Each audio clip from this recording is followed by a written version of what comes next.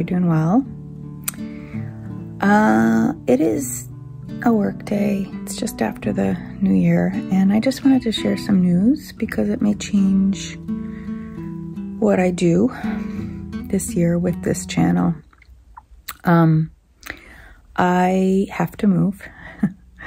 so I am in the process of looking for a new place and um, I, you know, without going into too much detail, it's just a lot of change. I'm going to be downsizing and I'm kind of freaking out about that, about downsizing. I know it's going to be for the best, but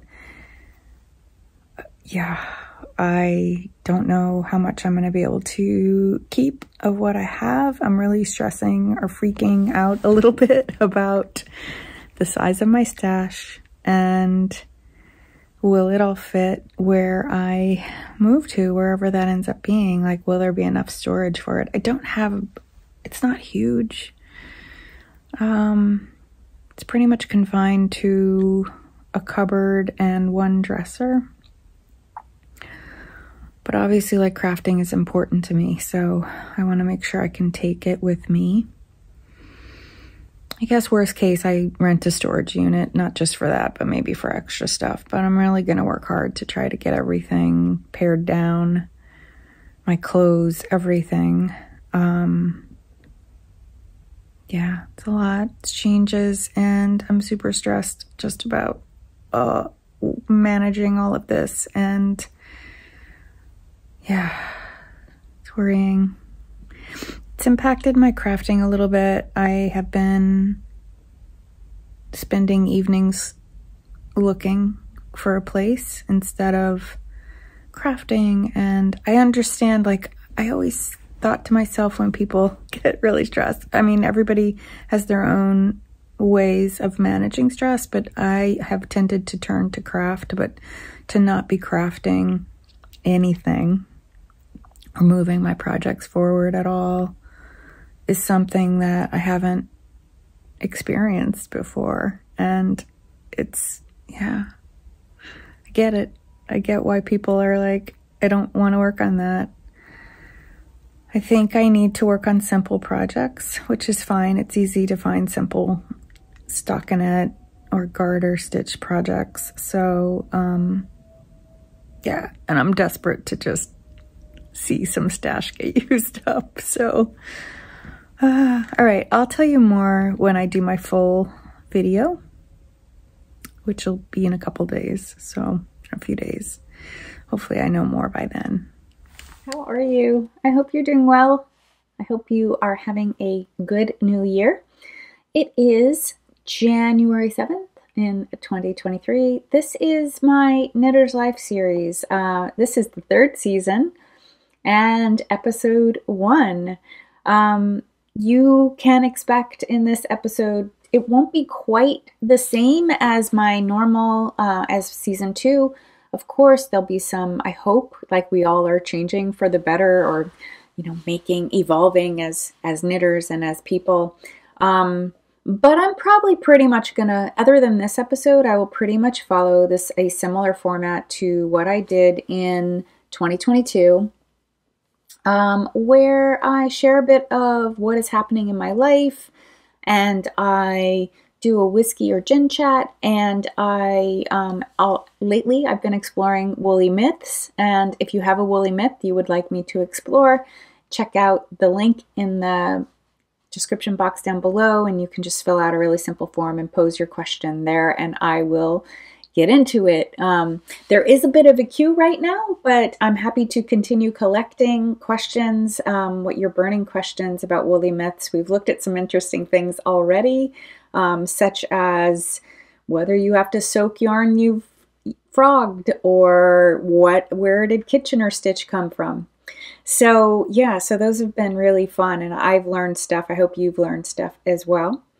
Um, before I get too deep into anything, I should do my intro in case you're new here. I think I picked up a handful of new viewers over Vlogmas, so welcome and thank you for checking me out. Uh, I deeply appreciate each and every one of you, and uh, I really love talking to you in the comments below or offline um, through Ravelry or Instagram. I have had many viewers reach out to me in both places, and it's totally welcome. And um, yeah, I will do my best to get back to you timely. I am doing a lot of messaging and emailing in my work job, so it's part of my daily flow, and I don't find it too taxing at all.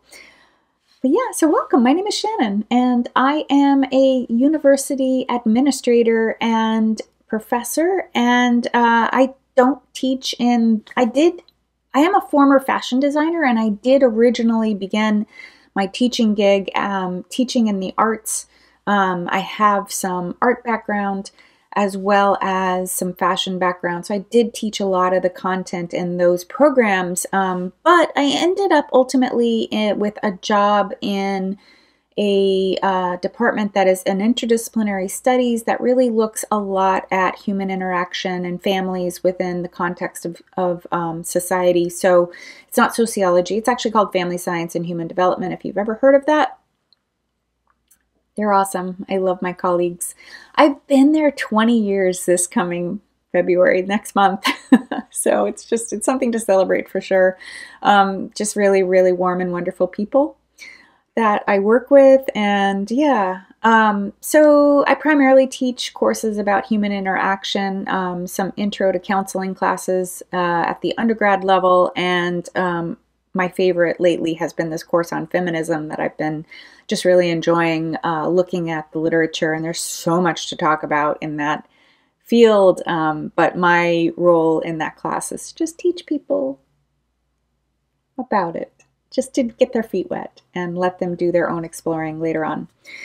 Um, all of which I do so I hope that wasn't uh, too big of an intro for you. And it was a lot more info probably than I've shared in a long time here, um, but it seems appropriate. It's January.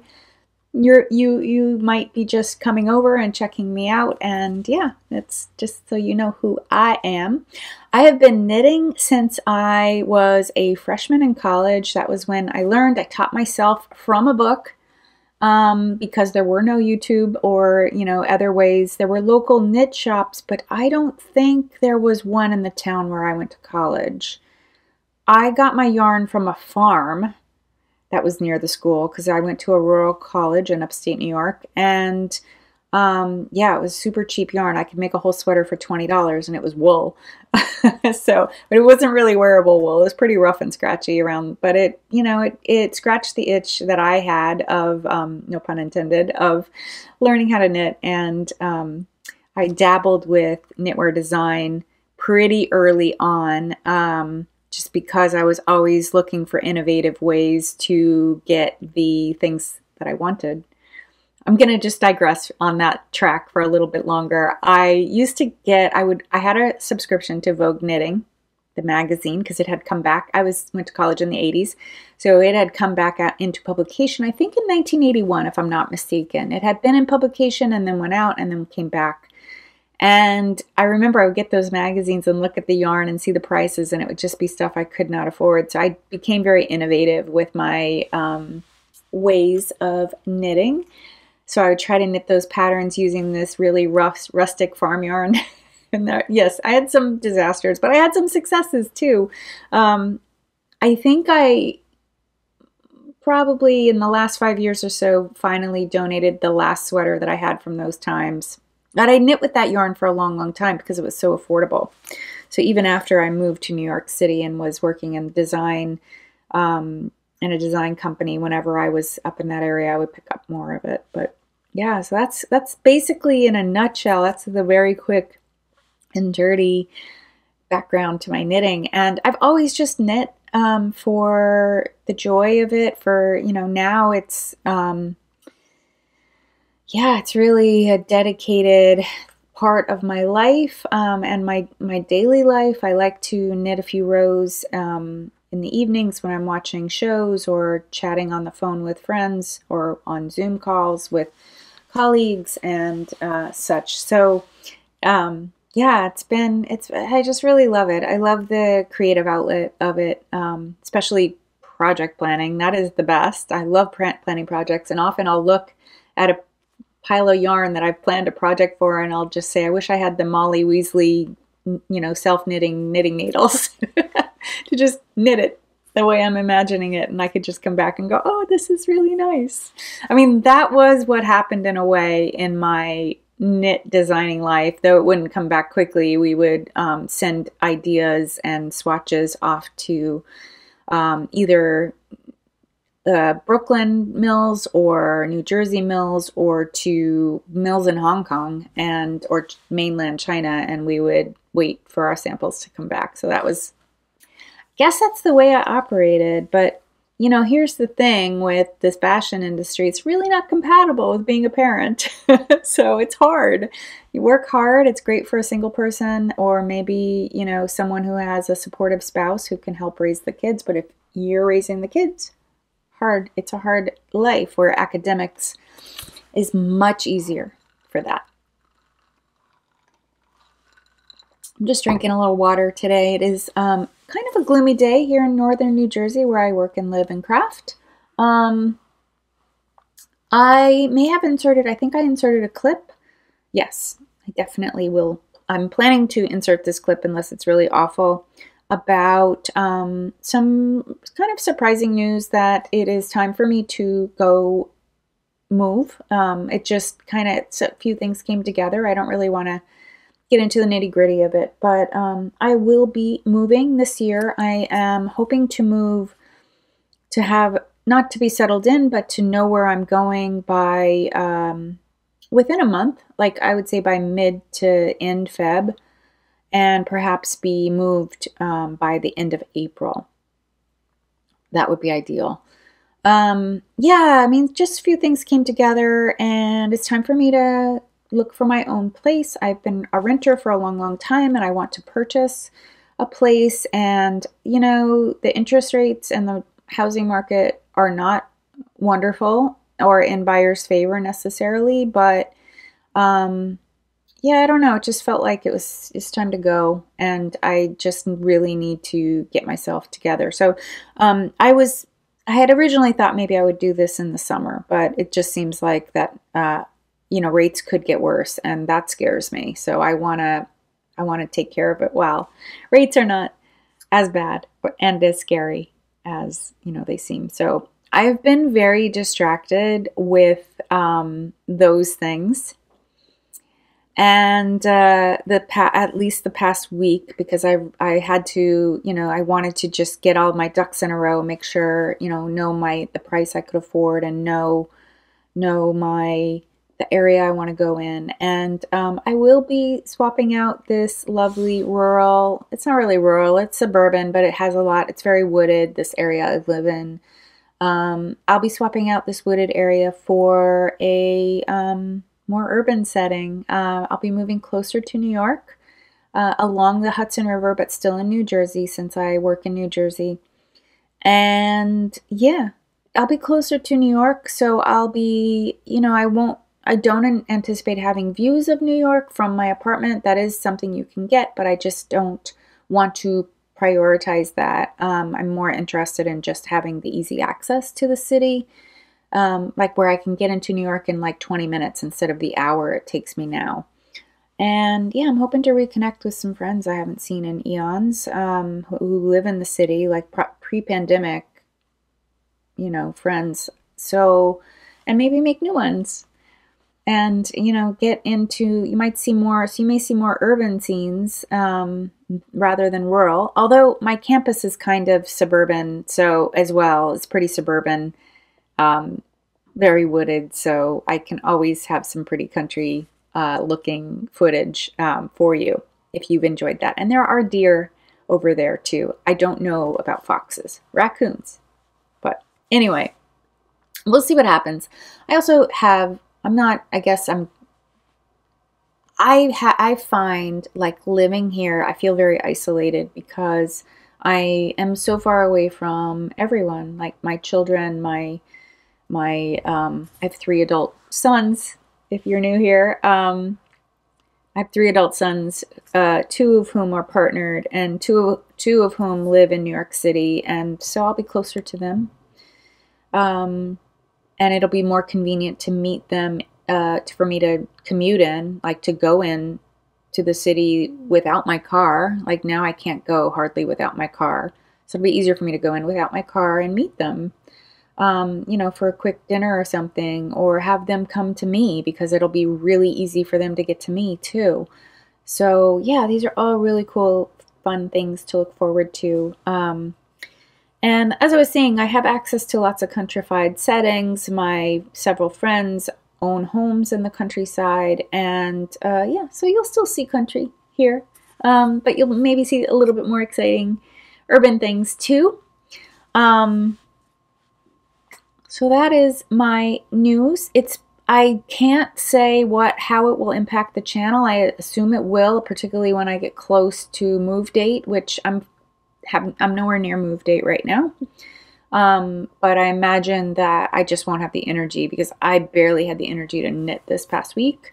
Um, it was just really, really difficult. And it wasn't until today, Saturday, that I've been able to sort of breathe in and breathe out and take some time and um, realize that, uh, you know, things always have a way of working out, and sometimes we have to make compromises, and that's okay. Um, but yeah, that's that's what's happening. Um, I will say I probably will refer to the fact that I'm moving throughout this video and probably the next few episodes as it pertains to my crafting.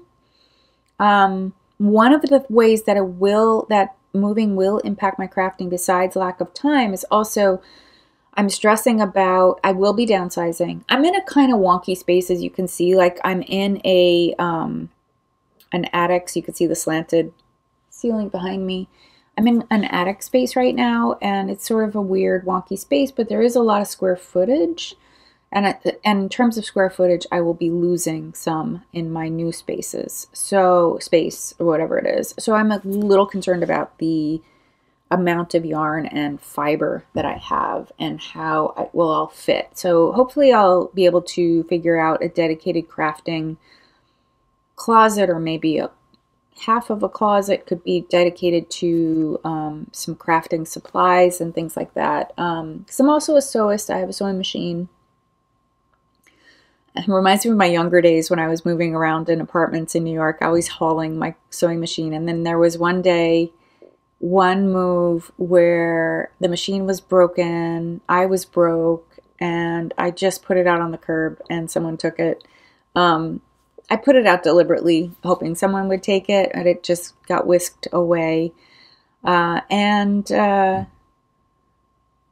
I, I've since gotten another machine, and this machine was my stepmother's. Um, it made me a little sad, but it also kind of relieved me of some of the burden of, you know, that comes along with hauling stuff and moving it frequently. So, yeah.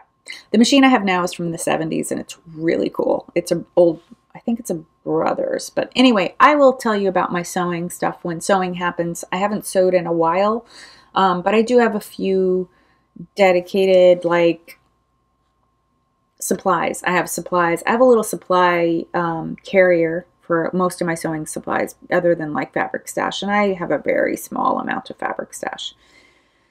Yeah, but the fiber, the fiber is going to take up so much space. But I have a lot of vacuum bags, so I may be empty vacuum bags, so I may be smushing stuff down into vacuum bags in order to make more space within the storage that I currently have. Um, generally speaking, though, it, I, you know, last year, let's talk about my, let's talk about my knitting last year, how I did, because I like to do a recap. I like to do an assessment of how I'm doing in terms of yarn in, yarn out kind of thing. So I do it by the yardage. Um, how many yards did I make? How many yards did I buy? How many yards did I did I purchase? How many yards did I knit into things or crochet into things? And how many yards did I purchase and spin? My spinning has been very consistent. So I've been tracking um, spinning. I started to learn. I learned how to spin in 2019 that year was kind of uneven. It was the middle of the year that I learned, and I didn't. I spun not a copious amount, but the last, like from 2020 and 2021 and 2022, I have very consistently spun about 10,000 yards. So this year was 2022 was no different. I spun 20, I spent spun 10,000 yards. I think I spun a little bit more. I have a project that has not, maybe it's like 10,500 um, yards. Uh, I have a project that hasn't been, Ravelry does not consider it complete because I still have one more skein to make. So I, that, if you're a, a viewer who's been here since November, you know what I'm talking about. I had, I had spun two skeins of, um, a colorway from Kim Dye's yarn, which was beautiful. It's beautiful, but it's not shading for me. It'll be shading great for one of my sons who um, do not have blonde hair and blue eyes. My boys are all, my boys are Hispanic. Um, so they are all brown hair, brown eyed, and olive toned skin. So um, the colors will look great on them. Uh, but I might, um, I might try to destash some of my hand spinning or my hand spun. I don't know. Stay tuned. We'll talk about that more at another time. Um, continuing on with my yarn consumption, I in 2022 I knit 30,000 yards. I began the year thinking it would be a low buy year. I called it a low buy year because I knew I wasn't going to be able to buy nothing. Um, and I wanted to allow myself some indulgent purchases. Like if there was something that I, like a certain project that I wanted to make with a certain yarn that I didn't have in my stash, I wanted to be able to do that. Um, so I did. And I made with that 30,000 yards, going to just look at my book here. I use a bullet journal and I've used the same bullet journal for a few years. I don't um, keep copious notes, but I do use it for list making. Um, so I had knit 17 sweaters. My goal was to knit one a month. I had in, intentionally wanted to um, slow down how much knitting I did because I think in 2021 I knit a lot um, because we were still in kind of the pandemic times and it seemed like um, it was something that was, you know, I was just finding that I wasn't doing other things. So I was able to knit more. And I, I intentionally slowed down in 2022 because I wanted to get back out in the world and do more um, traveling and seeing people and um, maybe, you know, just chilling on that a little bit. So I made 17 sweaters regardless. So that was pretty good. Um, again, goal being one a month. So that was well, that exceeded my goal. Um, I made 10 pairs of socks. I made three blankets slash throws. I made three sweaters for my granddaughter Julie. I have a one granddaughter, one grandchild. She is two and she is lovely. Um, when I make things for her, I pop pictures on screen of her, so you will definitely see her. She is adorable. Um, I made a toy for my granddaughter. I also made one pair of socks for her. I made a few crochet items that were stash busters. Like I was trying to use up scraps, so I made these scrappy crochet baskets and stuff. And you can, if you're interested in seeing what um, some of the things, I thought I would share with you some of the sweaters that I made last year. Um, some of the highlights, some of my favorites. I'm, inclu I'm including this right here. This is the Saucy Suri bomber jacket, and it's a pattern that I made and um, that I developed. And uh, yeah, so I did uh, two lace and stripe boxies. I did, um, which I love and wear the heck out of. I made several daily pullovers. Bless you for sticking with me and watching me make daily pullover after daily pullover. I think I ended up making three. I made a, uh, I made one out of the linen quill. That's daily pullover by um, Purl Soho. I made one out of superwash and I made one out of linen.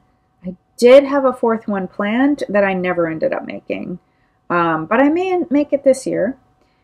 I um, also made the Perennial by Nora Gaughan. I loved, I love that sweater. I wish it was a little longer. I may go back. I have a little bit of yarn left. I may go back and extend it. I also made the Don't Look Up sweater that Jennifer Lawrence wore um, in the movie Don't Look Up, and it was a brown sweater with some pink and gray um, color work up here and in the sleeve. It was really cool. I really, really loved that. I was pretty effective with my advents that I got. I got advents last year. I got them this year. I got them the year before too. I still have some of those advents hanging around, but last year's advents pretty much got knit up. One of them was knit into um, a throw. One was knit into a sweater, and one was completely. I used them all up. Um, and the last one is still a WIP. it's uh, the Olon 2021 um, Advent, but I got it out. I'm not going to show it to you now because I didn't do anything with it, but I hope to be working on it in the coming uh, weeks because I want to finish it. Um, yeah, so that, so, so I spun 10K, I uh, knit 30K, and I purchased 20 or 13K of yarn, including my advents, which advents can be pretty, pretty massive uh, hit to your stash. So the Grenouille um, Advent that I got, and I'll put video overlay video here of it, of the entire thing. Uh, it is 2,000 yards, so it's pretty pretty substantial. Um, I also got a 12 day mini skein from Zakami, the Corriedale sock. So it's rustic and, and uh, naturally dyed. It's really beautiful. I'll overlay that video of that too.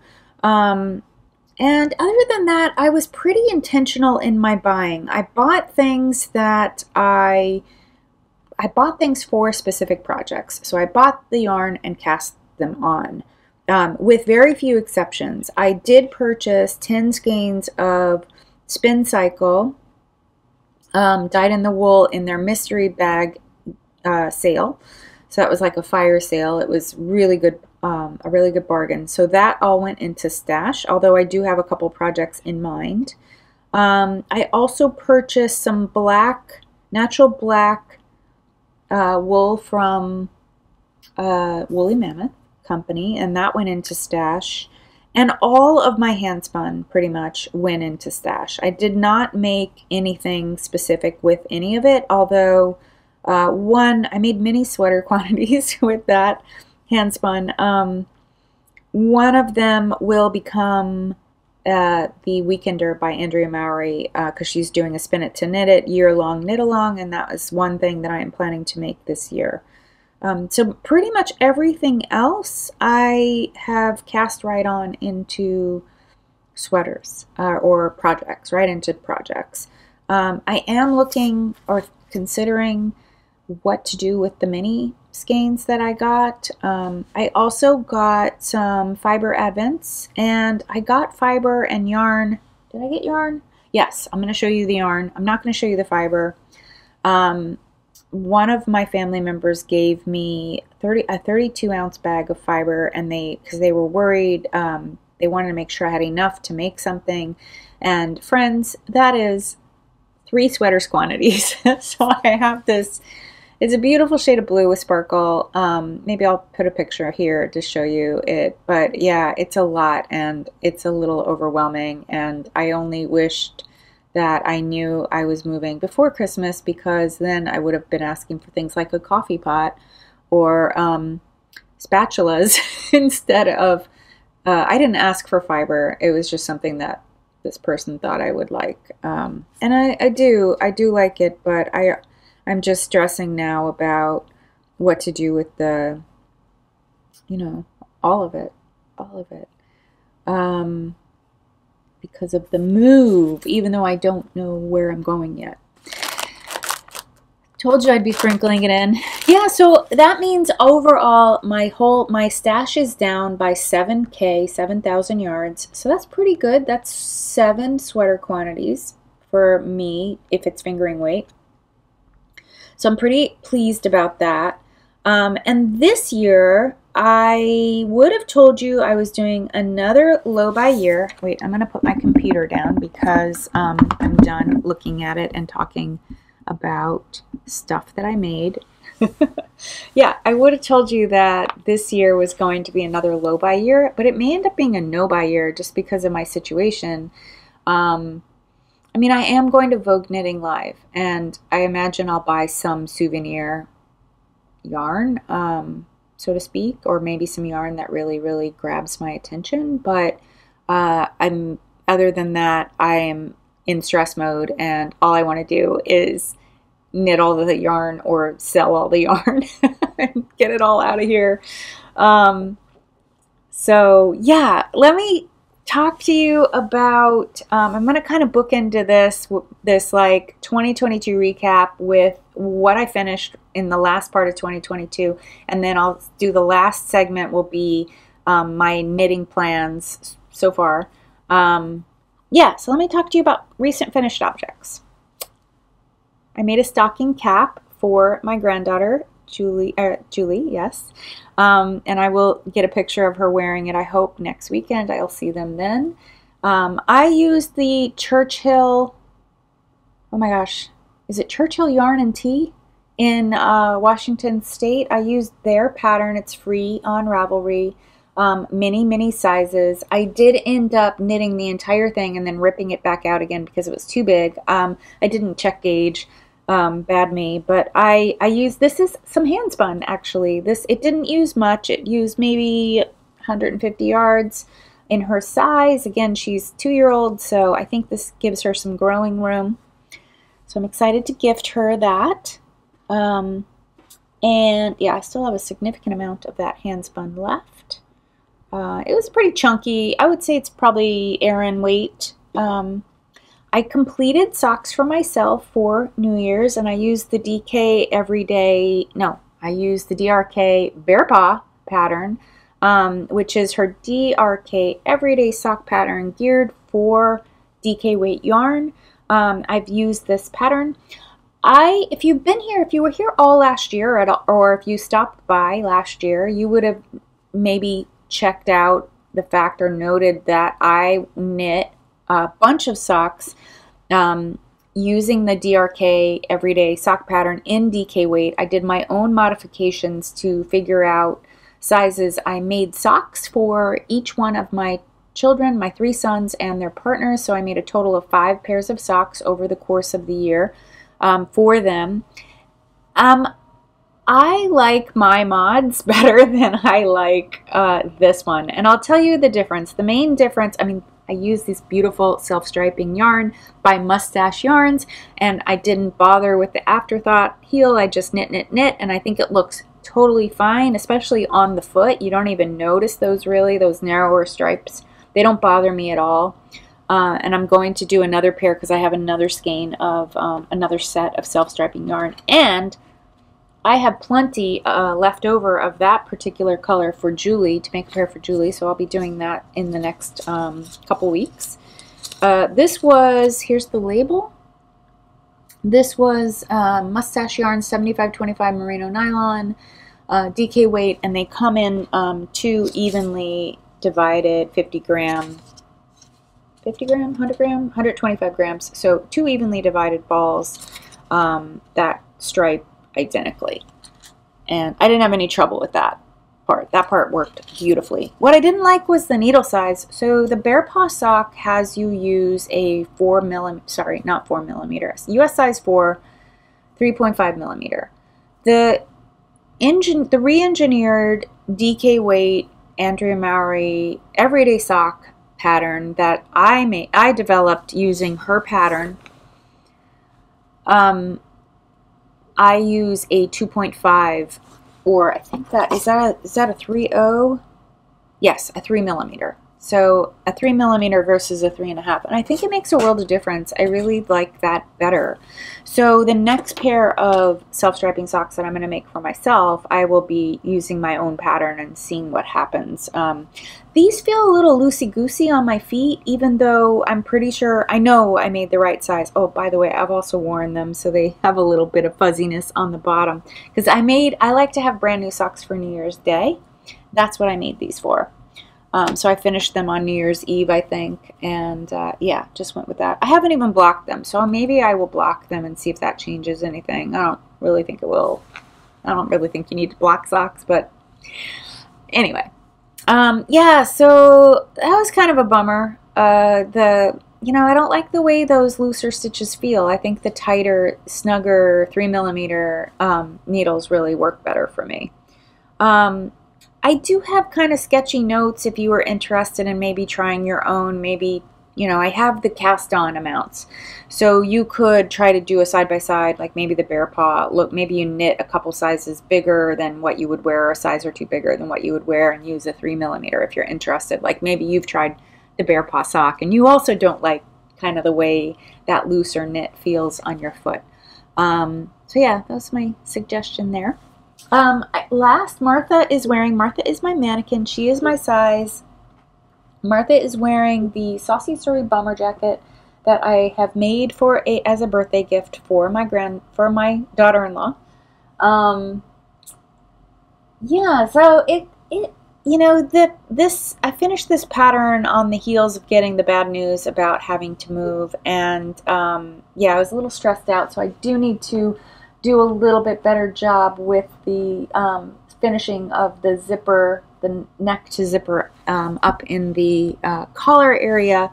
But generally speaking, this is, you know, this is just a, a drop shoulder bomber jacket style with ribbing um, on the bottom. It is a paid for pattern that um, I released in the beginning of the pandemic. I think it was March 20. Um, and yeah, I did not, you can see the pooling of the yarn. I did not alternate skeins. I hate alternating skeins, so I really, really try not to do that. Um, I did do some alternating, um, yeah, just because like the, you can probably see it here, the sleeve, that when I got to the last skein, um, it was quite different. It didn't have as much red, so I did a little alternating through here until I ran out um, of the of the yarn. The other sleeve looks fairly identical. I did this a very similar, very similar thing with that. Um, but I think it's fine. It, it all works. Uh, the yarn is um, Qing Fibre, uh, Melted Baby Suri. It's old stash that I've had for a couple years.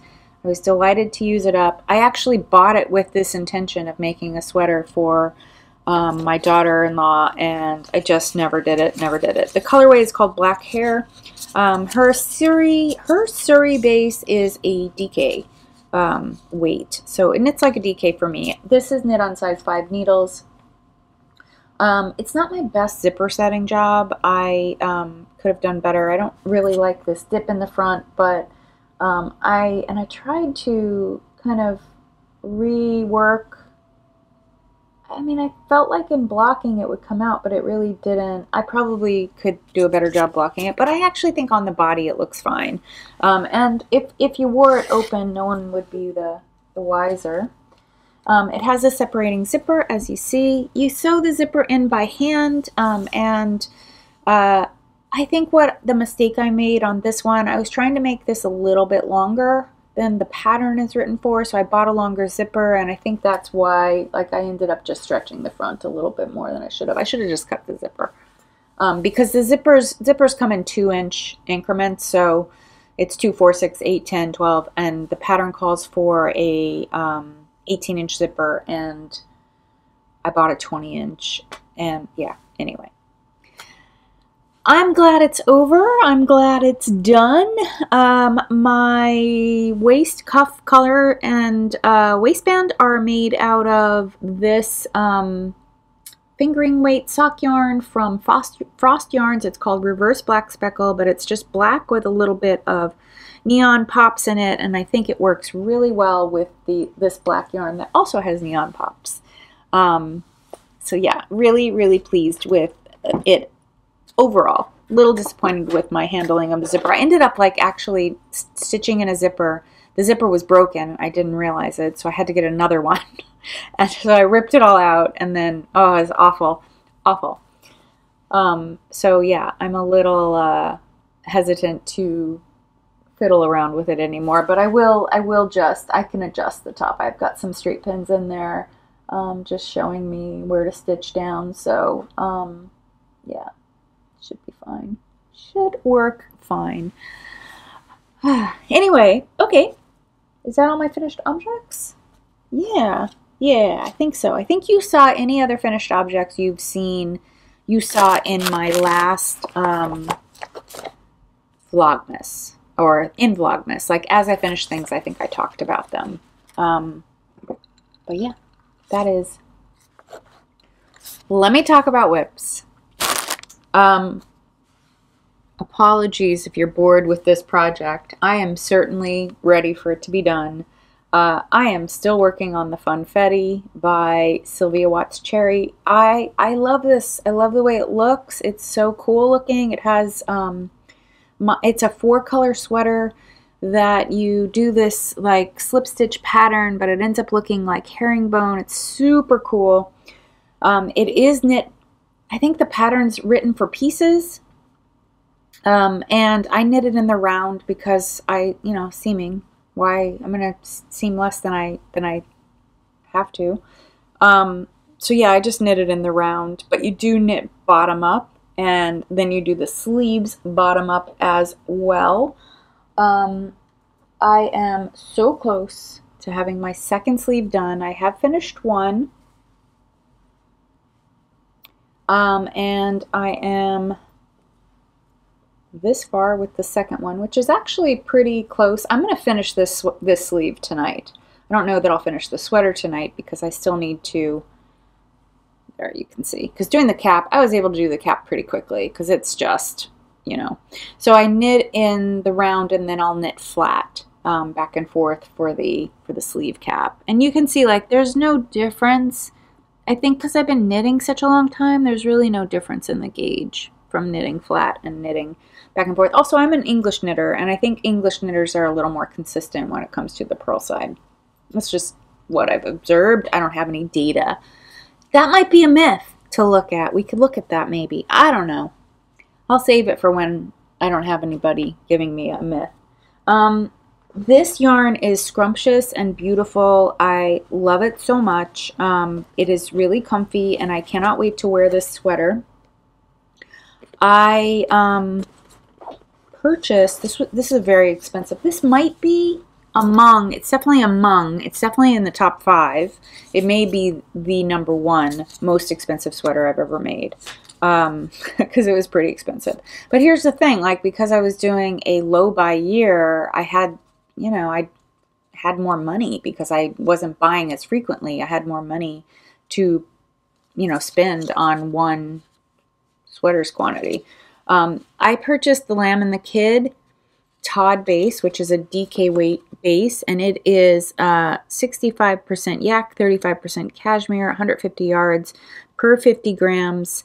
Um, you can see the price. It was $34 a skein. You can do the math. Um, I actually bought some of it on sale. She does uh, what she calls monthly matinees. And um, what that means is that every um, every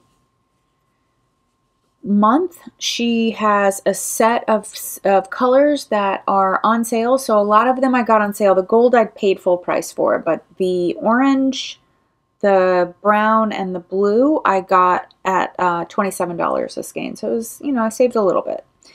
Um, the orange is the colorway Caftan. The brown is the colorway chili which it's really a reddish brown, but it looks brown brown in this um, uh, color arrangement. The gold is anorak, and the blue is the colorway K, C-A-Y.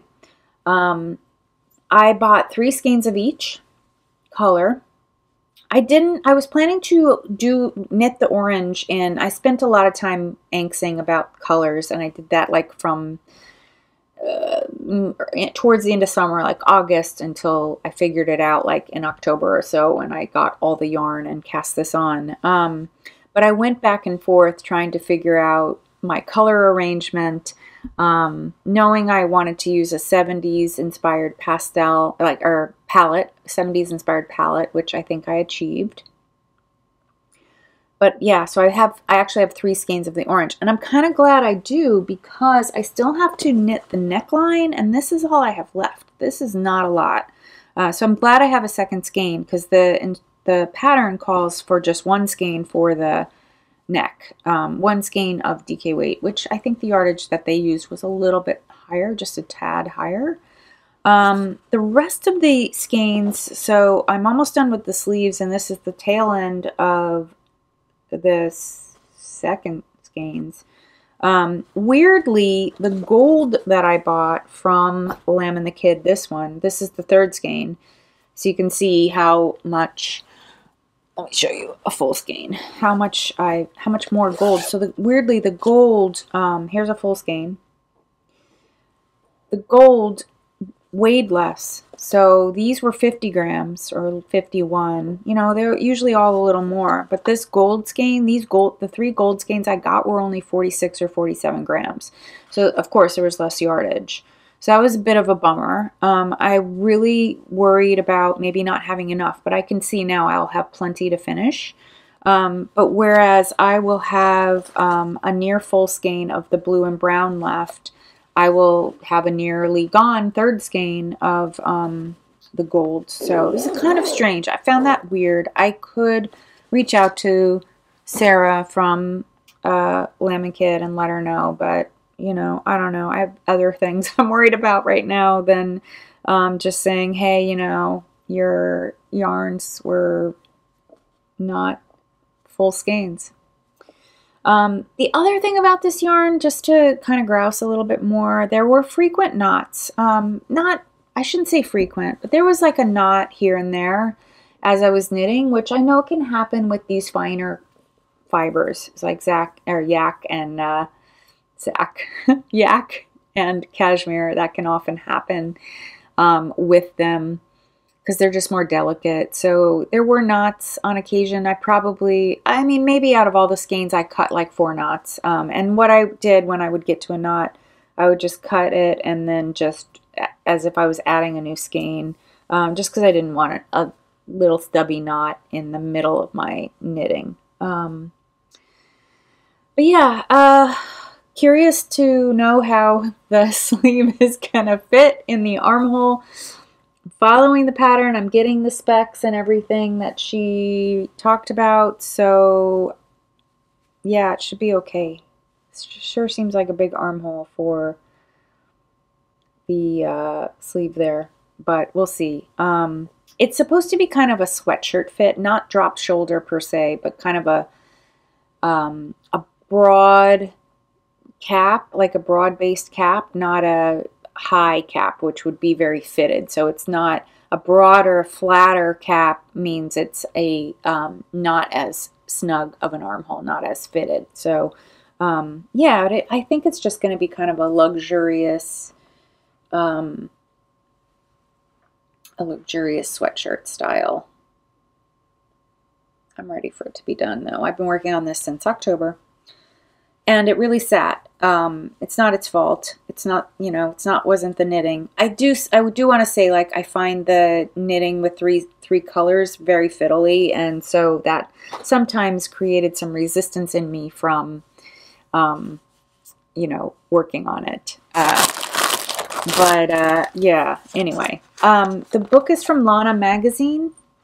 I mean the book. The book the pattern is from Lana Magazine from her from their summer 22 um, uh, issue.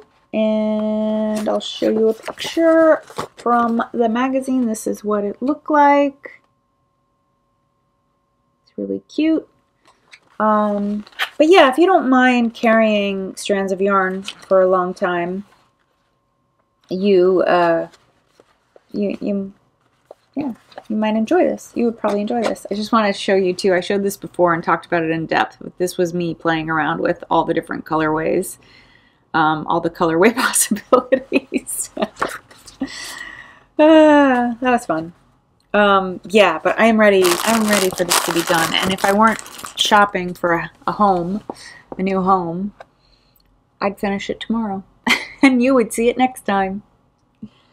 Um, but anyway. Think that's all I can say about that. Uh, other WIPs are, um, let me stick with ones you know. This is, I haven't done much with this. This is, I am knitting the Ward sweater by um,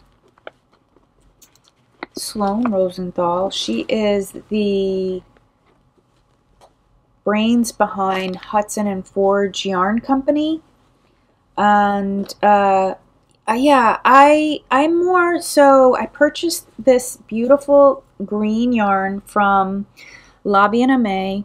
It is the Wensleydale worsted in the colorway Lush. It does not look nearly as bright on screen as it actually is, but I'll try to tweak that in. I don't know if I'll be able to because I have a lot of other bright colors, but if I can, I will try to get, maybe I'll put a picture of the yarn.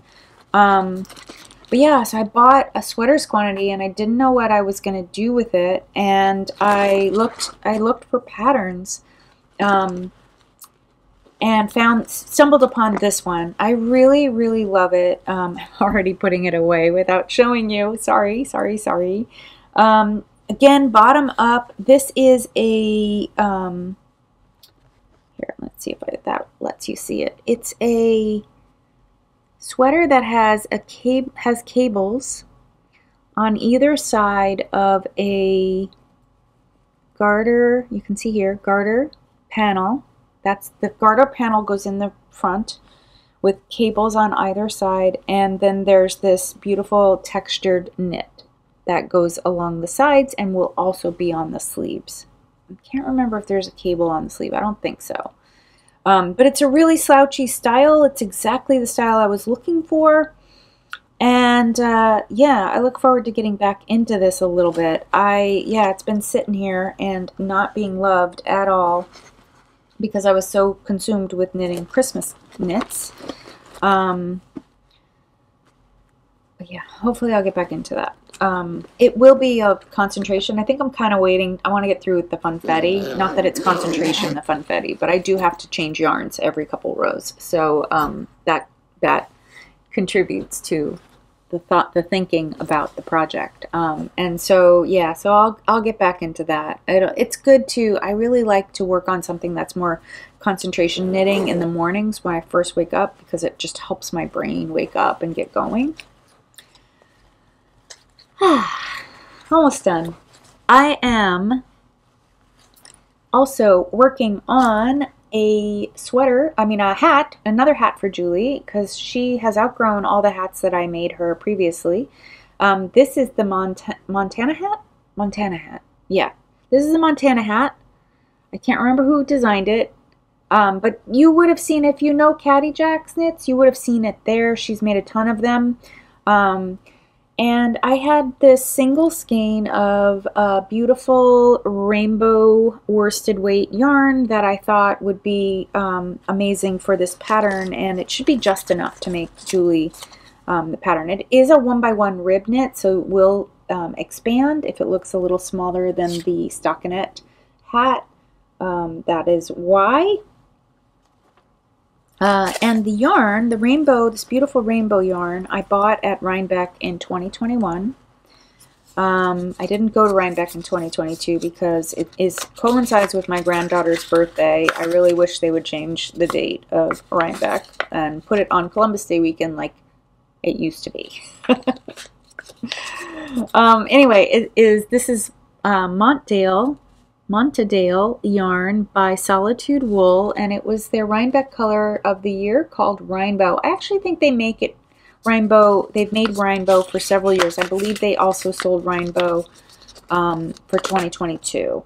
Um, but yeah, so it's a worsted weight. It is 100% uh, Montadale, which is a, I believe it's a crossbreed up between Rom, Romidale, Romidale and um, Mont something sheeps. Um, and it's a woolen spun, so it should be nice and cozy as a hat. And that hat you can triple has a triple brim, so you can or you can triple fold it over your ears, so it should be really cozy. And I hope that it will um, grow enough that um, she'll be able to to wear it. Uh, I am now going to move into some stash that I got, which will branch off into my um, plans, my upcoming knitting plans. You might remember that I talked about, if you've been here a little bit, or if you're new, I'll recap, don't worry. I talked a little bit about my ideas of a design for Vogue Knitting Live. Um, Vogue Knitting Live is February 10th and 11th, somewhere around there, early Feb. And uh, I bought tickets already to go. I made plans with a friend, and I, I'm letting you all know I'll be there. So if you're going to be there too, please come up and say hi.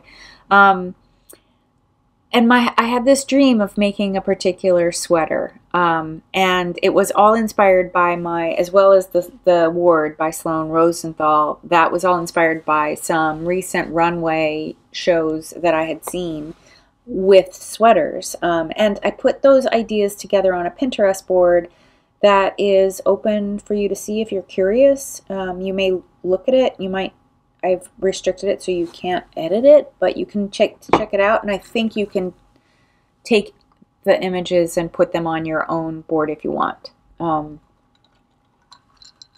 it's very bright palette. It doesn't mean that that's all I saw. That was these. I was looking for a theme, um, or I was like noticing a theme that I happened to really like and found inspiring. Um, a couple people messaged me afterwards and said, I love neutrals. I guess I should, you know, wear a lot of them now because they're going to be out. But that's not necessarily true. There's usually multiple threads of fashion cycles or fat, fat things that are, you know, hot and happening or new or interesting. There's usually several several threads that you can follow and neutrals are always in, so don't worry about that. If you're not into brights, don't worry about it. You probably won't like this board if you're not into brights, but you may find some interesting silhouettes and things to look at. Anyway, I um, I got the yarn and I have prepared a swatch. So I'm going to show you the swatch and I will talk about the yarn. Um, I am going to make a very bright sweater. This is my idea.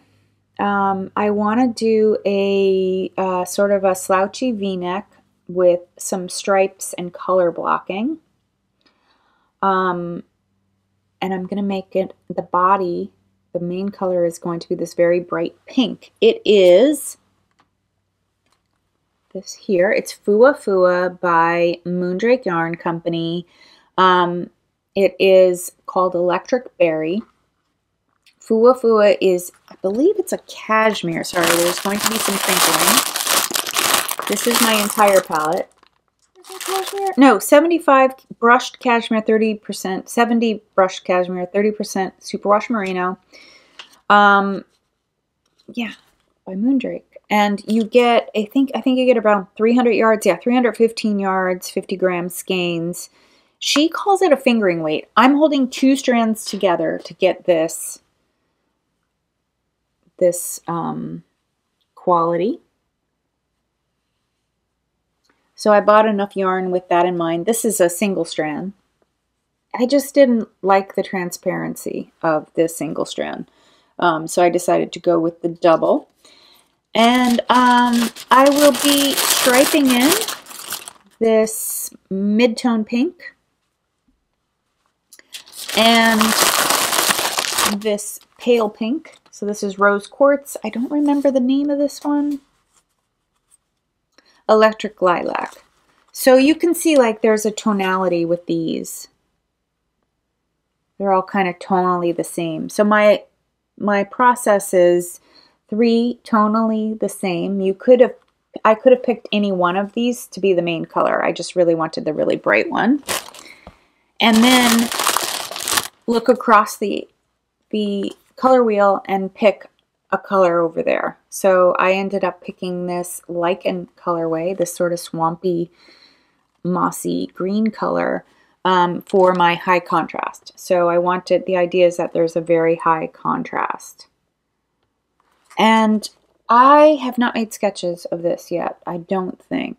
I think it was just all in my head. Um, and I don't think these two colors land next to each other. Um, I think this will actually land next to the pale color.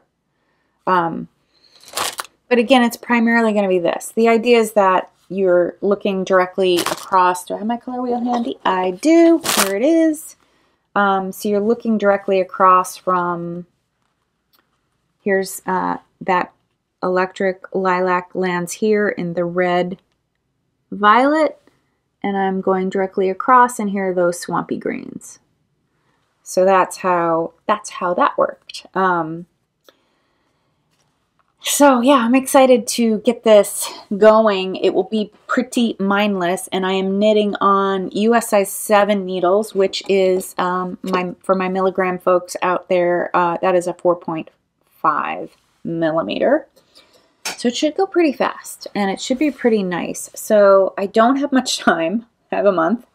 Um, I jump my. I mean, ideally, I would get the pattern published too uh, by the time I go because usually what happens at Vogue is people stop you and talk, ask you about your sweater just like they do at Rhinebeck. Um, only probably more so because it's smaller. It's a smaller, more more dense area, and people are more densely packed at Vogue. Um, so I hope to get through the pattern quickly enough to get it to a tech editor and get it out there. If you love this concept and want to preview the pattern, um, I'm happy to give you the pattern, gift you the pattern for you to do a preview knit. Um, it, I'm not going to call it a test knit because I don't think this calls for test knitting. This is pretty simple, straightforward. It just needs some tech editing. Um, and I have been right. The pattern pattern is almost written, um, I I tend to write my patterns first and then knit and modify as I need to. Um, and for me, I'm always in the middle of the range, so that's a good place to be when you're looking at grading both smaller and larger than your than than the sample size. So essentially, this will be the sample size. Um, I did do the pattern is mostly graded as well. There's there's a section from like here to here, here, like here to the armhole that I'm uncertain about. So I need to get it on my needles and work through that and see. Um, I know where I need to be here and on the sleeves, but, and I know where I am as I'm developing the V coming top down. Um, but I don't haven't quite worked out the rapidness of the increases to get from the number that's here to the number that's here. So I have about a three or four inch section that I just need to put those numbers down and figure them out. So I think it's better to just get it on the needles and go. So yeah, I'm excited about that. It's going to be a nice distraction from all the other things going on in my life.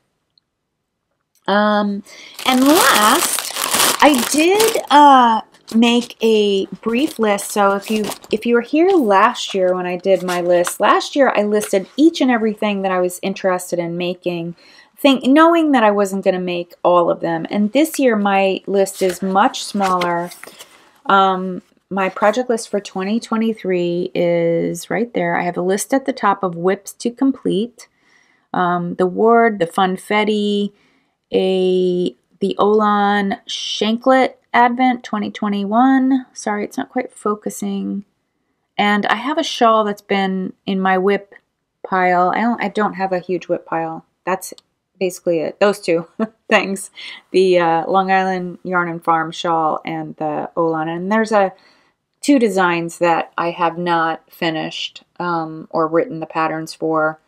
Um, that I'm I don't know what I'm going to do with them. The one is a sock, and I'm probably going to finish that sometime this year. Um, but the other one is a shawl. I don't know if I'm ever going to finish it, so I may just frog that yarn. Um, yeah, so that's those are the WIPs that I intend to finish this year.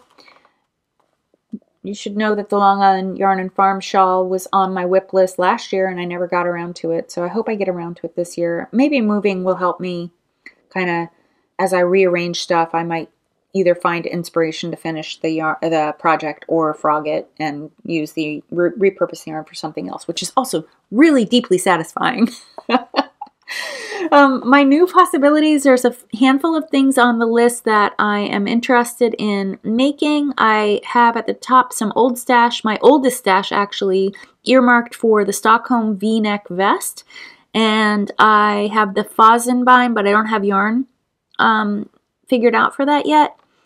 I want to make another rainbow hoodie for Julie. I made one last year and it's too small, so I have enough yarn to make her a bigger one. So I told her I would make her another one.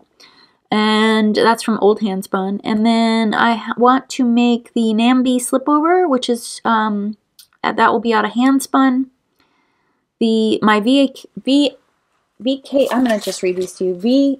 VKL sweater, which I just talked about. I also really want to make a black and white graphic project, either a shawl. I thought about making the Mare, Mare shawl, but I'd be interested in maybe doing a black and white graphic sweater. And there's a couple I've, I have in my queue that I'm on Ravelry that I may do.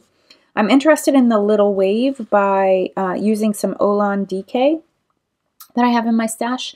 And of course the Weekender. I just made a really short list this time. Last year I had a huge long list and I had a bunch of patterns in mind at the beginning of, at the top of 2022 that I never used. And I actually own those patterns. So I may make those, but I just figured it was time to let it go on the list. Um, and then what I did next was I um, made a list of yarn without projects that I want to keep in mind um, for some potential projects. And it's all old stash.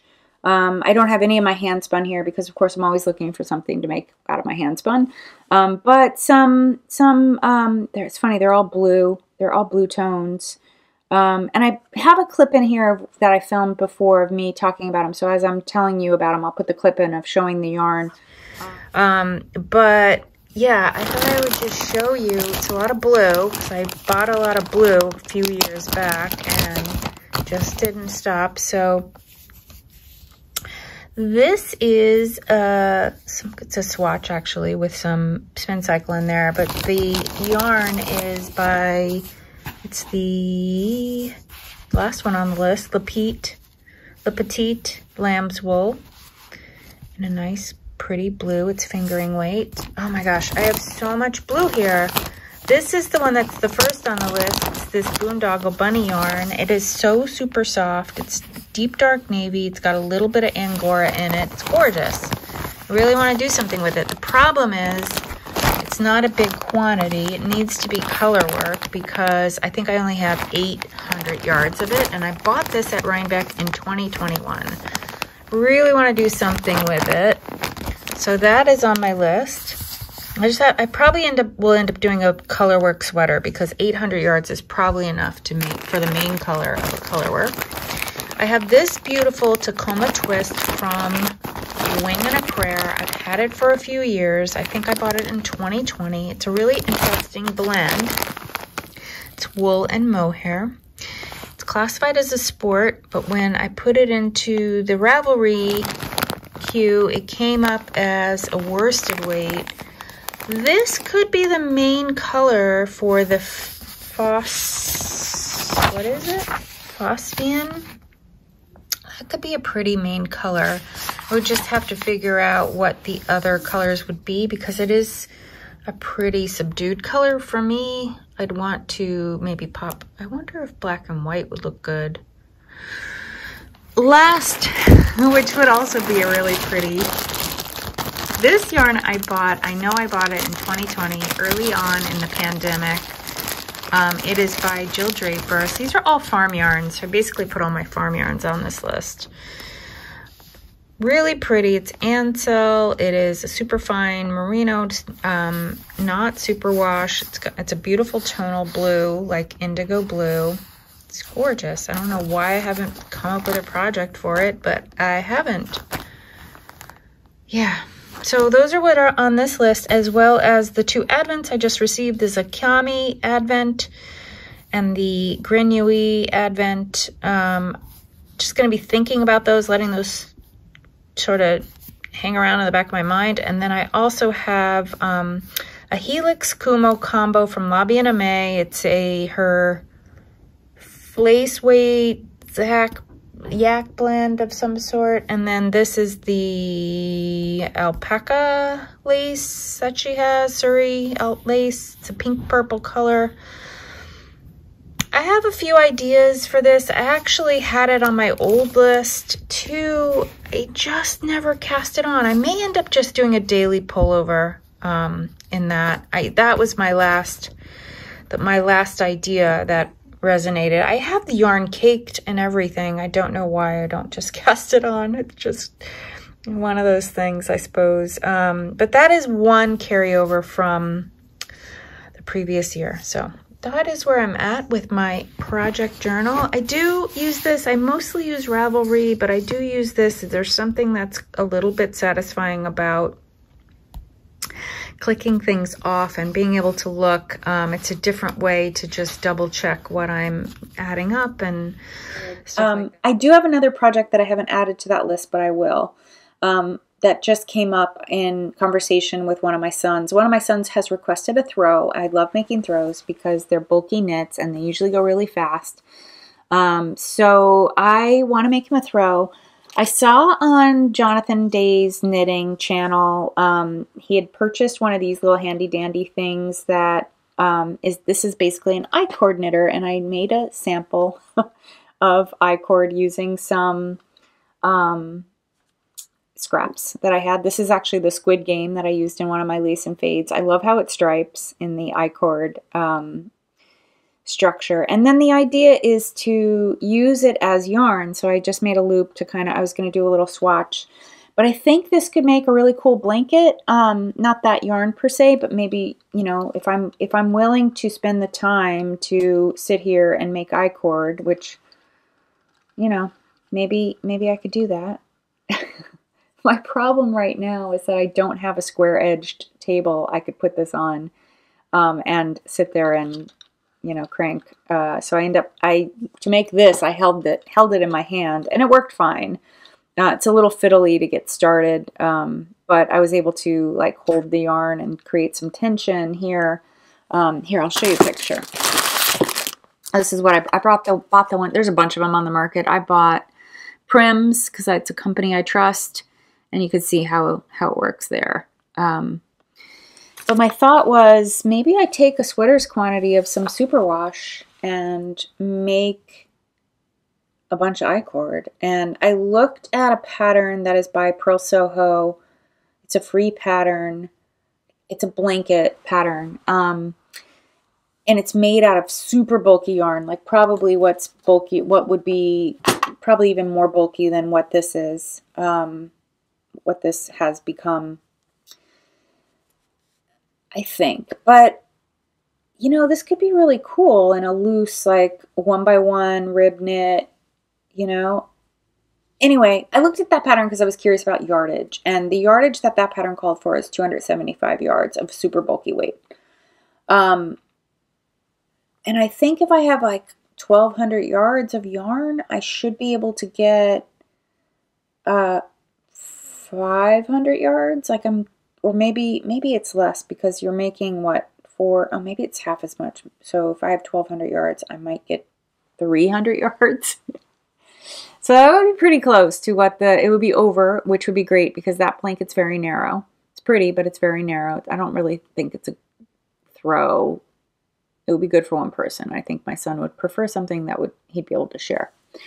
Um so yeah, I'm thinking about that. I had I pulled out a sweater's quantity of um, some magpie yarn that I got last year with my, this was one of the advents that I got in 2021. It's really pretty. It's um, superwash base. Uh, it's a MCN merino cashmere nylon, 400 yards. I think I have another 50 gram skein, so I may end up with, if that, that would be 1400 yards, so I may end up with, divided by three to four, yeah, I might end up with like 400 yards, which might be, might be enough. Um, I can always just knit on really huge needles, I guess. That would be the other way. But I first need to slog through making the I-cord. So it's something I'm considering. I might I might just hold three strands together because that would also get me 400 yards um, and and make that make it that way. Um, but yeah I really really want to use up some stash I want to try to use all one color and not make it multicolored um, because I think that's just more sophisticated looking. My alternative would be to use some handspun, maybe make some new handspun. I could use that 32 ounce thing of fiber that I have. Um, yeah, I don't know. I'm gonna figure it out. Um, oh, the uh, the Moondrake I did have on my list, my Christmas list, so I got some of it. I had to pay for some of it, but some of it was paid for, um, which was great because this, again, this is pretty expensive yarn. I think it's like $40 a skein. It's pretty high. Um, and I ended up with eight skeins, I think, because of the contrast colors. Um, but with the contrast colors, I'll uh, divide them in half and then I'll hold two strands together. So that'll work.